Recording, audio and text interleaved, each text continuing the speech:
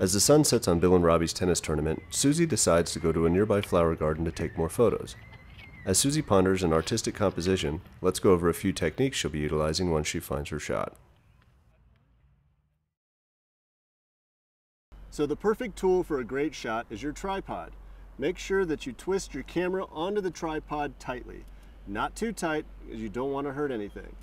Check it, make sure it's nice and stiff, and then slowly bring in your tripod and camera into the shot as if you were going to frame it. Now that we've got the camera set up on the tripod, all we need to do is remove the lens cap, place it in the camera bag, secure the camera bag, and put it down. And make sure when you put your camera case down, put it down softly, gently, and face up.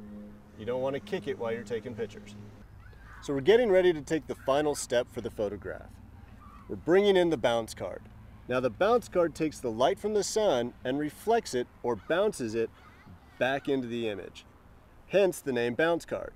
Now a bounce card can also be used as a white balance card. So here we go.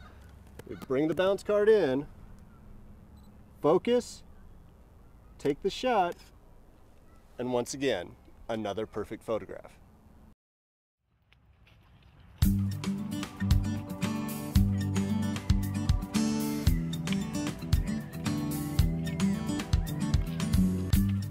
So now that Susie has found a location for her composition, let's take a look at her use of the techniques we just shared. She has her tripod set up, and her camera is in place and locked down to take the shot. She focuses, brings up the bounce card reflecting the light from the sun back into the flowers, and then takes her shot. Photograph without fill light from the bounce appears flat and it lacks vibrance, as if it were taken on a cloudy day. As we discussed before, you want your photographs to have depth. Now take a look at the same setup using a bounce. Look at how the added light adds another dimension to the blooms and leaves.